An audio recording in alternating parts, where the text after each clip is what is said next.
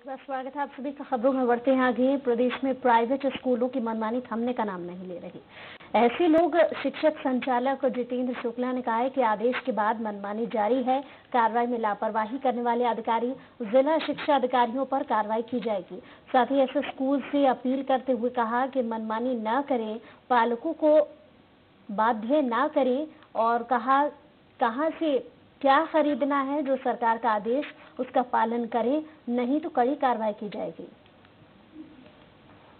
इससे मैं सभी से आग्रह कर रहा हूँ कि जब तक कोरोना प्रभावित प्रभाव के कारण ये दिक्कतें हैं, तब तक शासन के जो निर्देश हैं, उनका पालन सख्ती से करें और सभी जिला शिक्षा अधिकारी का दायित्व है कि इसका पालन सुनिश्चित कराएँ।